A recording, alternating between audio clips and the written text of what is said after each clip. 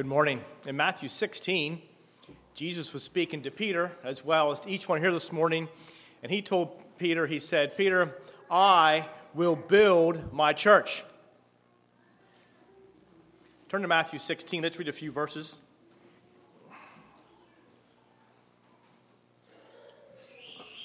Matthew 16, uh, we're going to end up in Acts, but we're going to start here in Matthew 16 just for a few verses. I'd like to read verses uh, 13 through 20 to get the setting here.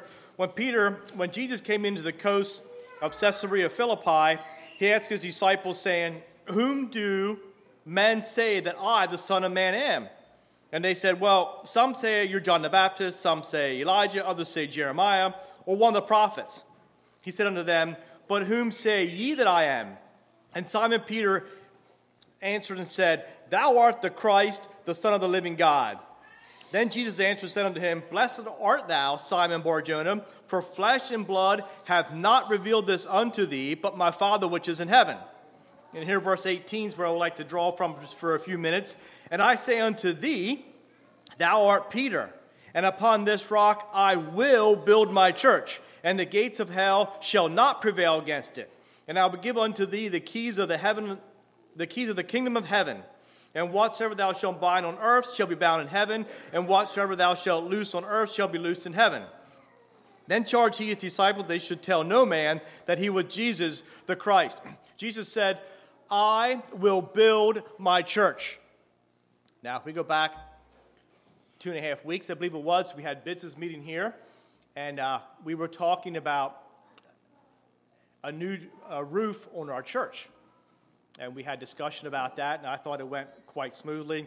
Is, is that what Jesus was referring to? You know, I think we're aware, although he was referring to a building, although he said, I will build, he was not referring to a clean red brick church with pews and ample Sunday school rooms.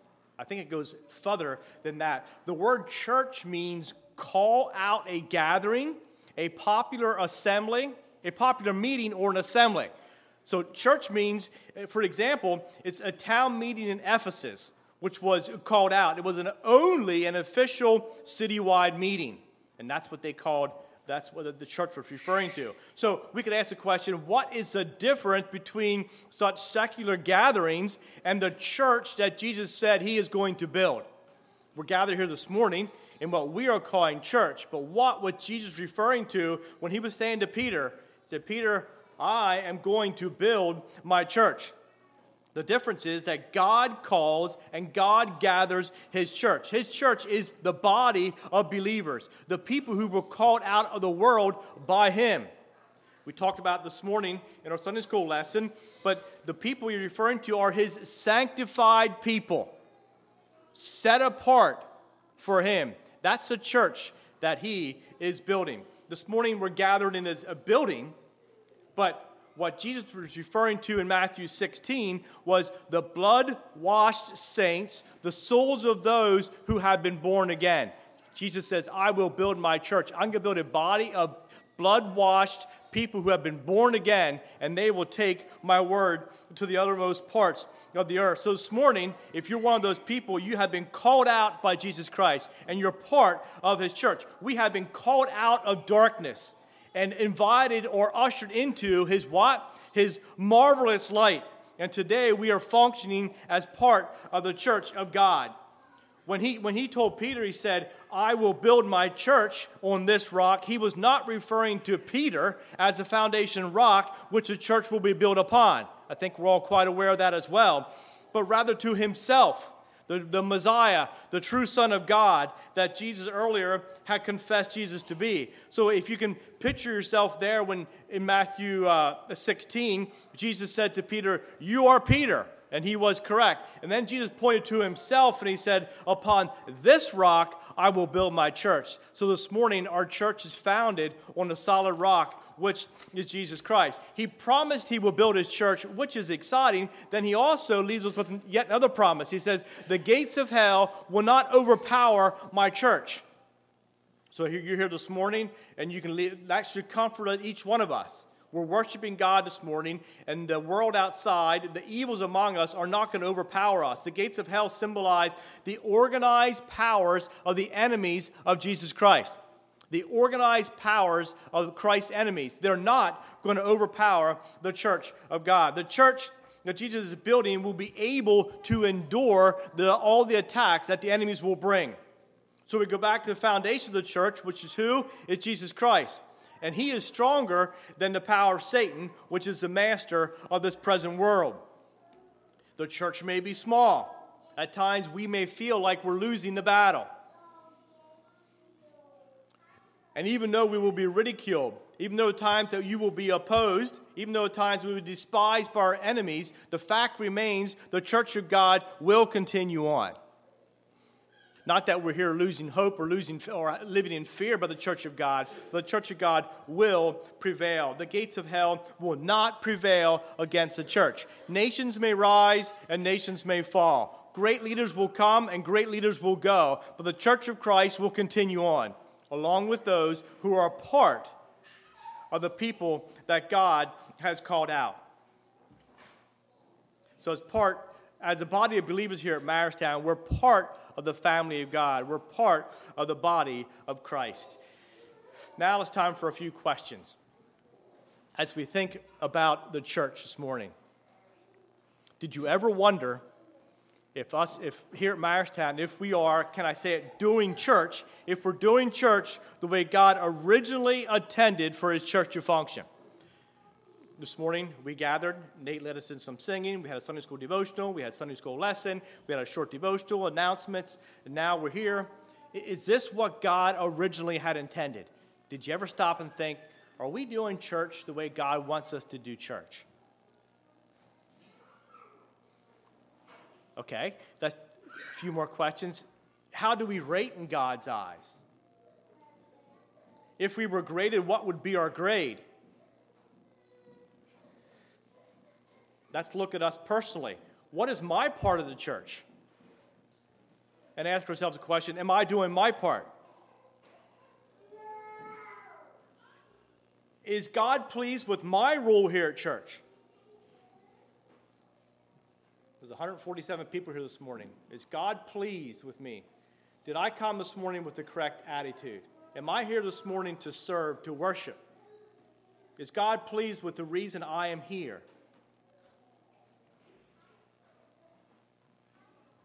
Are we assisting the Lord in building His church?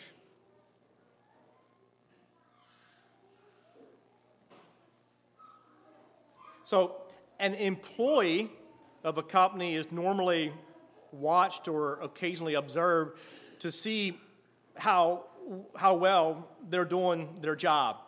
You know, they check their performance, his or her, yeah, they're doing well, and sometimes pay raises are given. At church, we're not paid based on performance. But I trust that you came here this morning with a desire to please the Lord and to assist the Lord in building his church and his kingdom.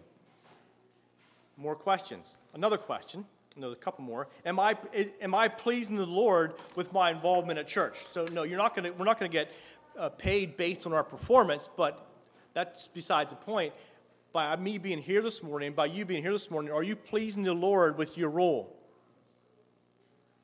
Another question to consider, to ponder have we here at Myerstown strayed away from God's original design for his church? Or the flip, the flip side of the question is are we right on track doing exactly as God had planned? I asked someone that this week, and the, the, answer I got was from my dear wife. She says, Well, I don't think we're too far off if we are. And I, I agree with her. But you ever think about it? A fact we all know in, in Lancaster, Lebanon counties, I'll pick on our, our local counties here, there's a, a, can I use the word smorgasbord of churches? We're, we're well aware of that. And if I can say it this way, there's every shape, size, and style, if, if we can look at it that way. But we're not here this morning looking at the other churches. The question we need to consider is are we here at Myerstown in line with God's original design for his church? And I'm not here indicating we strayed or we wandered away and we're on the straight, we're, uh, you know, we, we're off in left field somewhere. But just think about a little bit. You, we're all part here. Did you ever stop and think, well, God, is this what you had planned? Then we could ask the question, the question could be asked, well, okay, I, I get your point, Leon, but then what is God's picture for his church? And the, the answer to that I have, I could, is, uh, was it the way the early church was in Acts 2? and you're thinking, time out, it's not wise to compare yourselves among ourselves. Amen. I agree with that. But sometimes we can, learn, we can look at somebody else's uh, example, illustration, and learn from that. So here we go. Turn to Acts 2. Let's read a few verses from Acts 2.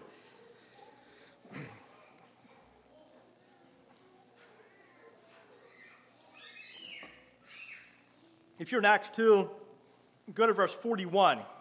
We'll jump in at 41 and read to verse 47. This is the early church. Then they gladly received his word and were baptized, and the same day were added unto them about 3,000 souls. And they continued steadfastly in the apostles' doctrine and fellowship, and in breaking of bread and in prayers. And fear came upon every soul, and many wonders and signs were done by the apostles. And all that believed were together and had all things in common. And they sold their possessions and goods and parted to all men as every man had need. And they, continuing daily with one accord in the temple and breaking the bread from house to house, did eat meat with gladness and singleness of heart, praising God and having favor with all the people. And the Lord added daily to the church such as should be saved. Now, just stop for a moment, let that sink in about what that church looked like. And is that where we are at this morning? Notice a, a few key phrases in what I just read. Gladly received his word, continued steadfastly in doctrine and fellowship, all that believed had all things in common, continued daily with one accord, praising God and having favor with all the people.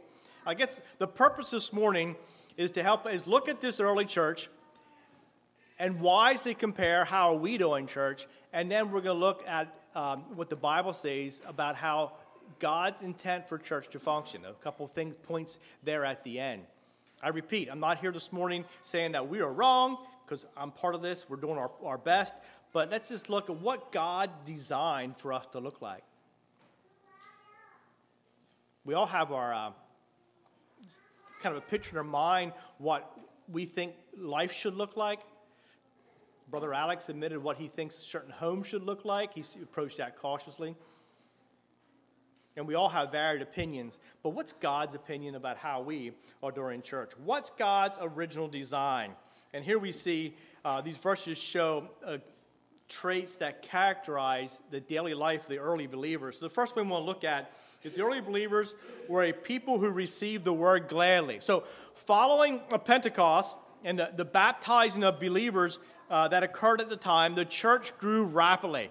In verse 41, we see there were 3,000 people added to the church. So the early church was in the beginning stages. And their very first trait that was listed is very commendable. They gladly received the word of God. The, this church was not building on man's ideas nor on man's thoughts, but only but on God's word. They received the word, meaning they welcomed the word of God. They believed it, they practiced it, they had a hunger for more, and at the same time, they were sharing the Word of God, this, uh, the gospel. This church was alive. Moving on, they continued steadfastly, okay? Now, the, uh, the, the time of the Acts that we read from was before the New Testament was written. The earliest letter from the apostles, most likely Galatians, which Drew read from a little bit ago, didn't appear until two decades after the birth of the early church here at, at Pentecost. But we see they, the church eagerly accepted the apostle teaching on Jesus of Nazareth and the promised Messiah. But what were they studying? What did they have to read? The Old Testament. I'm here again. That's, the Old Testament's great. We can learn a lot from that. But their Bible was the Old Testament supplemented by what Christ had taught them. So, what does the Bible tell us? They continued steadfastly, means to adhere to, to persist in, or to devote oneself to someone or something.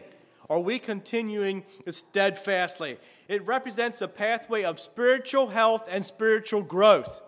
So they took the word that was being taught and also the Old Testament, and they based their belief upon that and continued in that? Uh, are we devoting ourselves to God's word? And when we do so, we will grow in our spiritual life. The early church heard the gospel message uh, from the, uh, and the teaching from the apostles, and they clung to it. And what I see here is a, a group of dedicated believers. Now, a quote from the book, The Anabaptist Vision, we're talking about the early Anabaptists. I quote, They were so drawn unto God, they knew nothing, sought nothing, cherished nothing, loved nothing but God alone. So we go back to our early Anabaptists, our early uh, founders of our faith, we could call them. They were so drawn unto God that they knew, sought, cherished, and loved nothing but God alone. And that's what we're talking about here this morning. There I see a sign of steadfastness. Nothing more important than God alone and His Word. Do, are we taking the Word of God? We have the New Testament in our laps. We're blessed. Are we taking that and clinging and adhering to that and continuing steadfastly in the Word of God? The early believers were de- a devoted people who were eager to learn. They persevered in do- doctrine, in fellowship, in the Lord's Supper, and in prayer. Let's look at them briefly in doctrine. They were record keepers of the early doctrine which they heard from the apostles, and that they kept record of that, and that formed a benchmark against which a Christian faith and practice was measured. So they took what they were taught and applied it and set uh, guideline for that. And I, I, where would you and I be this morning if we wouldn't have the New Testament? I don't want to uh, think about that, but the early believers held fast to the teaching and the doctrine and instructions from the apostles. They took what they had were, were hearing and clung to it. Today, we too can be saved and are saved, rooted and grounded in the very same message that they received. For we have the same doctrine, the same teaching instructions that they had. A verse from Titus 1 9, holding fast the faithful word as he had been taught, that he may be able by sound doctrine both to exhort and convince the gainsayers. And I ask this question Are we holding fast to sound doctrine? When we think how the early, the early church continued steadfastly in doctrine, and then we'll look at fellowship here in a minute. And the question for us are we clinging to, holding fast, adhered to sound doctrine? And we're in a world where things are spinning. Where are we? Where are we at? Ask yourself the question Are you, am I, holding fast to sound doctrine? Verse 42, and they continued steadfastly in the apostles' doctrine, and then it says, and in a fellowship. Fellowship means oneness or commonality, true community. Now, possibly as, as I read these verses, you gather what this church was like. But I see a body of believers functioning together. And we're going to look at that as we go through here this morning. But oneness and true community, they continued steadfast in fellowship. What I see here is a picture of unity, of harmony, along with the ability to function together as a body, as one unit. So this morning, you're sitting here. I mentioned there's 147 people here for us to count it correctly. Look around you this morning. And what you're going to see, according to the church calendar, you're going to see approximately 25 different last names this morning. You don't have to count, but approximately 25 different last names. You'll see approximately 40 married couples. So times two is 80 families represented. You're going to see, give or take, 20 singles.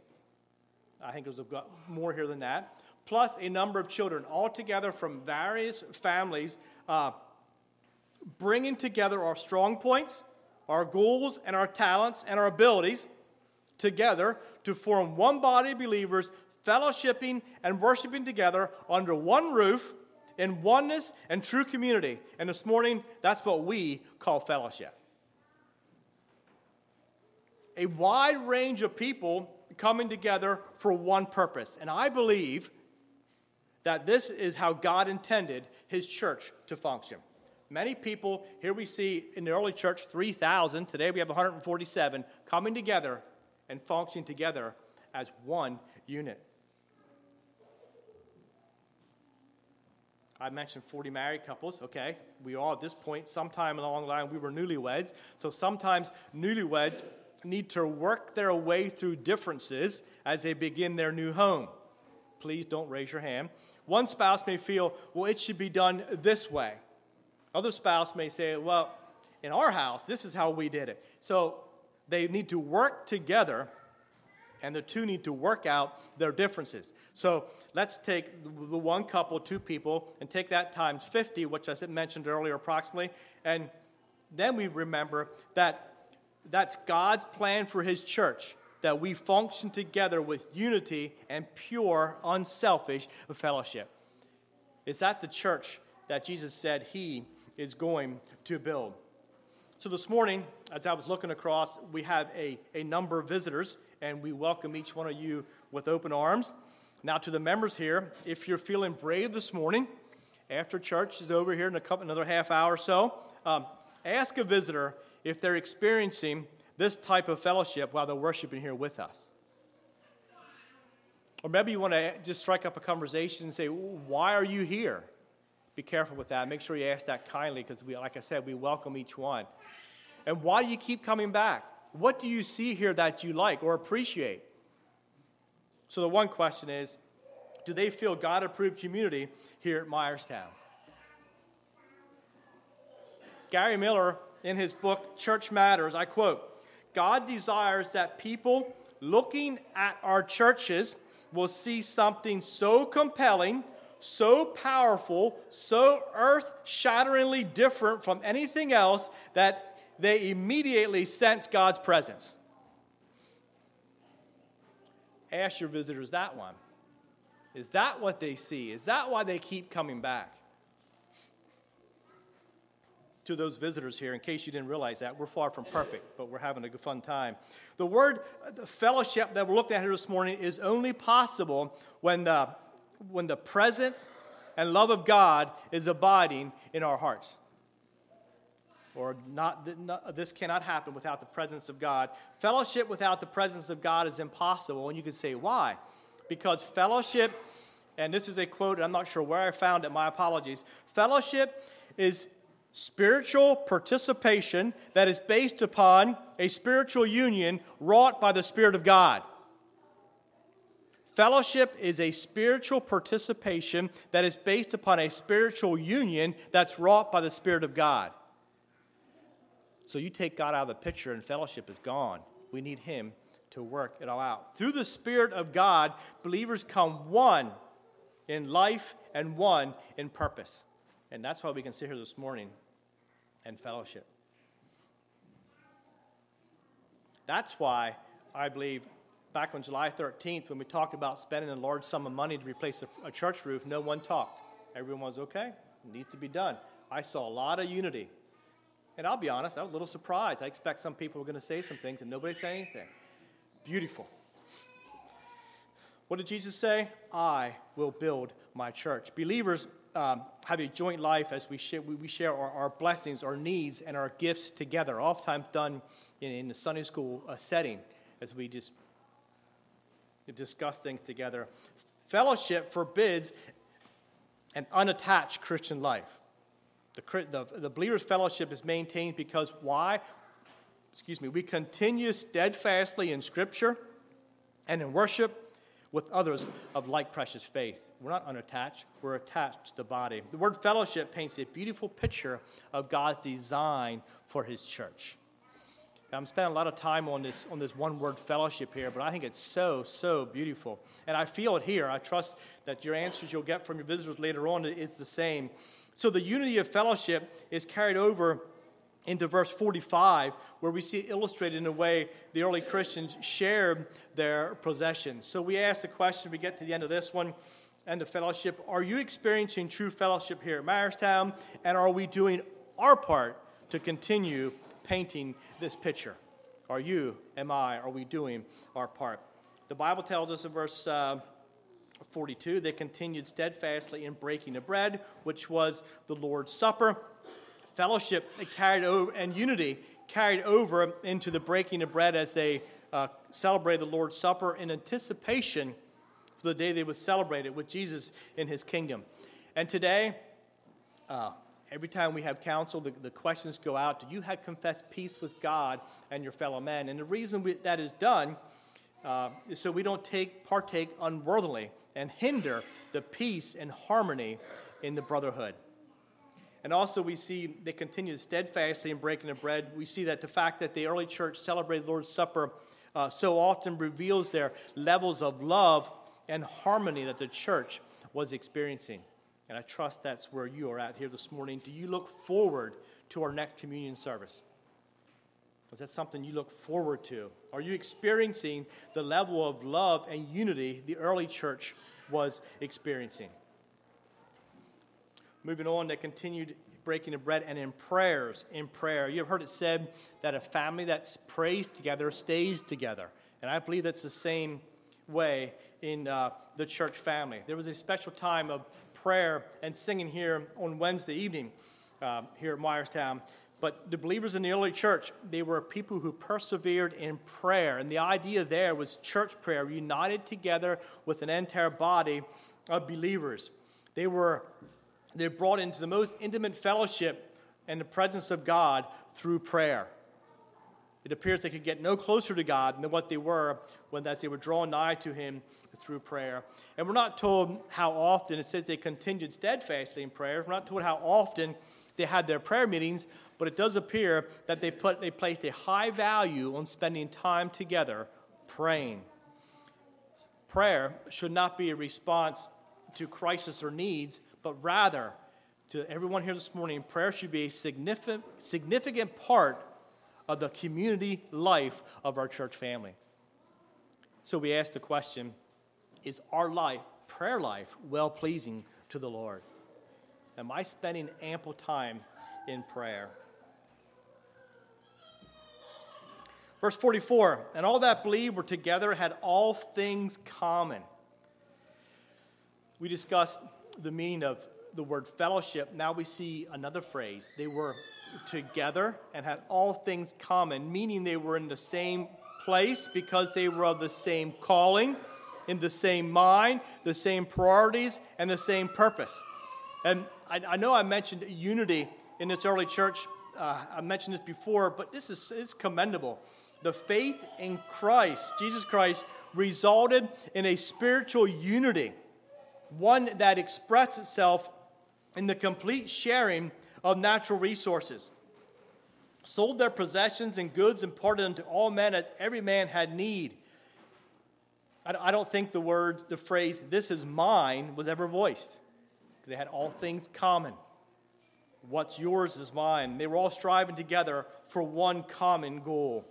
It goes on, verse 46 they continuing daily with one accord in the temple. Again, the emphasis on functioning together as a unified body. So let's think a little bit about uh, the bones and the muscles in, in our bodies. You know, both are required uh, to make the body function properly. Try to imagine how I would move about up here if I was missing one or the other. And I think we understand it would be impossible. Every time your arm moves or your leg moves, what's happened is a, muscle is pulling one way while it's being resisted by, by the bone. And the net result is, is movement. Every time we move around, our muscles are moving and our bones are saying you can only go so far. And assuming that the brain is coordinates things properly, every action is functional to the body. So think about what's happening this morning when you raise your arm. What you're doing is you're observing the wonder of bone and muscle working together to create movement. You don't even think about it very often because you just you just, just do things. But bone and muscle are moving together and you're creating uh, movement. Now think think of your bone. It's rigid, hard, and unyielding, and the muscle is the exact opposite. Flexible, willing to stretch or strain. So if I if I reach for that glass of water, my muscles go out and they keep on wanting to go further, but my bone says, nope, that's all the further you can go. But at the same time, both are needed, both are working together and to function, and so we can move. Like I said, without one or the other, we couldn't, we couldn't function. Bones in themselves have, have no power. Uh, you see a skeleton, Uh, I drive to work, and somewhere down 897, down close to Gehman School, by the way, there's some man who thinks it's funny to set skeletons out and put different signs there to uh, create humor, I guess, and he has a bunch of skeletons he sets out there. Uh, but bones and skeletons themselves, they're, they're incapable of movement. Wherever he sets them in the morning, they're the same place in the evening. Yet both bones and muscles are important for smooth function. A body without bones will be unable to support itself, but at the same time, our, our bones provide the stability that we need to accomplish our task. So we need both the bone and the muscle to function. Why did I say that? Well, God placed in the early church and in our church here this morning people with different personality traits, nat- different natural abilities.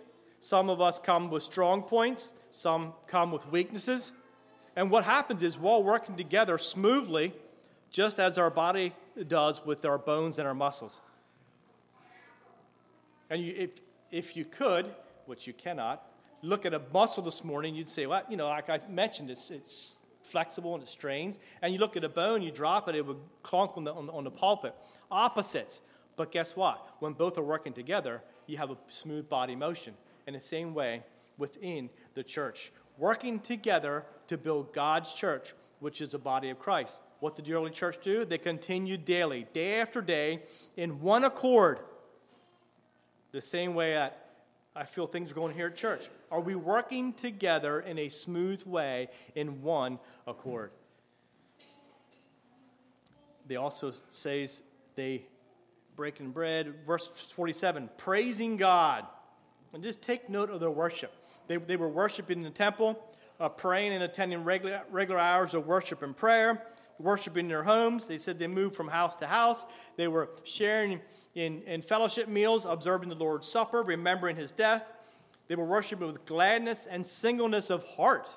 Singleness, singleness means sincere without hardness. So we picture their hearts being soft, tender, and easily touched. What was their attitude? I mentioned earlier our attitude for coming this morning. Their attitude was filled with, with joy, gladness, and rejoicing. It's just where we are at this morning. And they were more than willing to worship and minister as the Lord instructed. And what happened? The results were twofold. They gained favor with the people, and the Lord added, added to the church daily such as should be saved. Their, their unity of their spirit was clearly expressed with their desire to be together. And I, I also feel that here this morning. Whether they were worshiping in the temple or sharing meals in each other's homes, this infant church was characterized by a joy that could do nothing than attract others.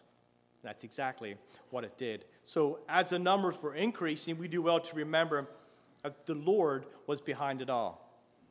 The Lord was uh, bringing souls into the church so they too could experience his saving grace. And I, I believe this morning that these verses they give us God's ideal desire for the church that Jesus said he is going to build. And what I see is the early church, and could we say shouting with the importance of unity, harmony, oneness, walking and working together. And the result is drawing souls into God's kingdom. All, the entire body there, 3,000 souls, pressing forward with one goal in mind.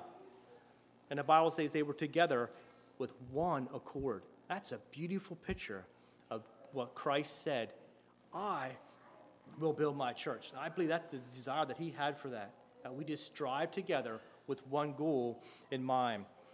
The New Testament church calls the church to be characterized by, and I said we're going to look at some the way God had designed it. A few verses here I'm going to give out. Uh, just the, the New Testament church calls us to be characterized by sound doctrine. We can find out in Titus 2:1. It calls us to be characterized by fellowship. And yes, we, we saw it here in Hebrews, but there's other places we can see that. I'm sorry, in Acts. But fellowship from Hebrews 10 25. From in breaking bread, the Lord's Supper, 1 Corinthians 11, 17 to 34. In prayer, Colossians 4 2. In holy fear, Hebrews 12, 28 and 29. Unity, Romans 15, 5 and 6. I'm going to read them verses. Now, the God of patience and consolation grant you to be like minded one toward the other according to, the G- to Christ Jesus, that you may with one mind and one mouth glorify God, even the Father of the Lord Jesus Christ. What's God's desire for the church? That you may, with one mind and one mouth, glorify God. And there we see again, like minded body pressing forward. We're also to be characterized by caring for the needs of other believers. 1 John 3 17. We're to be characterized by obedience. Hebrews 5 9 and Acts 6 7. By grateful praise, Colossians 3 16 and 17. And public favor, 1 Timothy 3 7. God's design and order for his church. Then we could also compare the function of the church to our, our four part singing. A little bit ago, and, and here shortly, the men are going to sing the bass and the tenor parts, and the ladies are going to sing the soprano and the alto. And all four parts are going to blend together in song, and what's the result? Beautiful harmony. And it's the same way the church combines talents and abilities in, in church work. And what's the result? An Acts 2 church. Just functioning as God designed. The question we could ask what kind of music is our church producing? Is it uh, beautifully blending four part harmony that's pleasing to the ears of the Lord? Is that what he sees coming from the church? Another question you could ask a visitor in a few minutes, I take this from Gary Miller's book, Church Matters. I quote As honest seekers listen to the music floating from the daily lives of our congregation, are they attracted to the harmony or repelled by conflicting notes? I have my answer for that, and I trust you do too. Check with the visitors. Are they attracted to the harmony or repelled by conflicting notes? If you take a, a six minute drive north, you will come to a church called Harmony Christian Fellowship. And as far as I know, there is harmony there. As far as I know, I don't know much about the church. But the question is can people here at Myerstown sense and feel harmony, unity, and commonality at our services? Is that what they're feeling here this morning? Is that maybe I, I'm kind of singling out the visitors, but even us members, is that what keeps us coming back? Are we working with Jesus Christ to build his church according to his original design? This morning, we, one of the songs that we were singing, we are one in the bond of love. John 13 35, by this shall all men know that ye are my disciples if ye have love one for another. And we know the Bible tells us love will cover a multitude of sins, but are we, is that love here?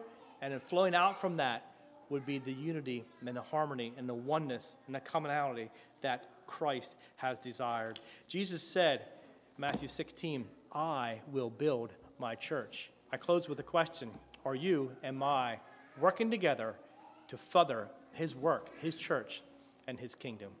Let's pause for prayer. Lord, we come before you this morning. Just thank you for the example of the Acts 2 church there that we could look at. And I pray, Lord, that that common thread could be felt here at Myerstown. I pray for each one here this morning that we could keep coming back because of that unity and harmony that is among us.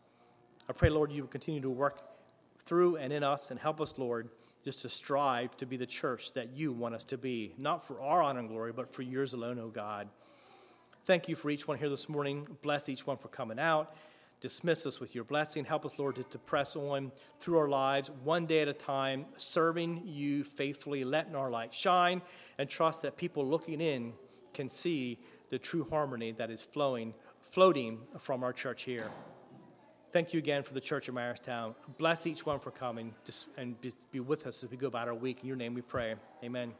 Nate, we give a song, please.